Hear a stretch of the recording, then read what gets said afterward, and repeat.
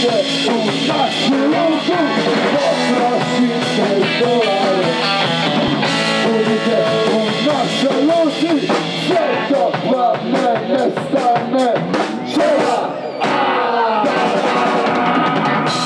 A za žešću rok svirku drugog dana Hedonist festivala pobrinuli su se daleka obala, uvijek rado viđani gosti u Osijeku. Kasnije su nastupili i Ida Prester i Lolo Brigida i Z++, a sve je baš kao i prvog dana proteklo u veselom i dobrom raspoloženju, uz domaća jela, vina i kraft piva malih pivovara. Tijekom dvodnevnog festivala na ulicama Osijeka moglo se pronaći doista sve najbolje od Slavonije i Baranje za kraljevski doček gostiju iz cijele Hrvatske. Gradska i sveučilišna knjižnica okrunjena je tako u igraonicu, pričaonicu i mjesto za izložbe za najmlađe.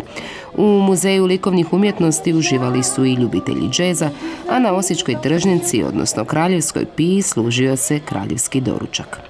Festival je tako na neki način postao kruna svih proteklih događanja na istoku zemlje, kojih je tradicionalno najviše upravo u ranu jesen.